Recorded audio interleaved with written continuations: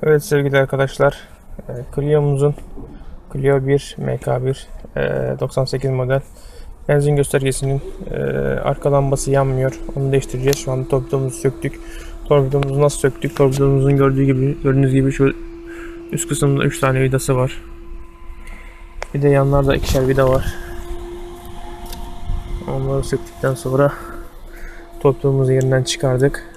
Şimdi göstergelere ulaşmaya çalışacağız. Şu iki tane vida var. Şu üst kısımda. Bir de alt kısımda kapağı indirdikten sonra iki vidası var. Onları da sökeceğiz.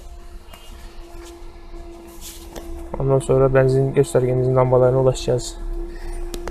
Evet arkadaşlar, eee Clio'muzun gösterge panelini söktük. Direksiyonun altındaki kapağı da sökmek zorunda kaldığım vidalara rahat ulaşabilmek için. Gösterge panelinin altında alt kısmında iki tane vida var. Kısmında iki tane vida var. Ondan sonra kilometre sayacının e, bağlantısı var arkada. Onu söktükten sonra panel geliyor. E, kesik olan ampulümüz bu. Bir buçuk liraya aldım elektrikçiden. Öyle. Şimdi onu taktım. Yerine yerleştireceğim. Ondan sonra tekrardan e, panelimizin vidalarını sıkacağız. Kilometre sayacının e, bağlantısını e, taktıktan sonra.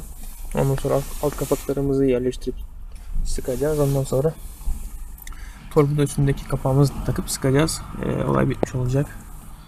E, görüşmek üzere.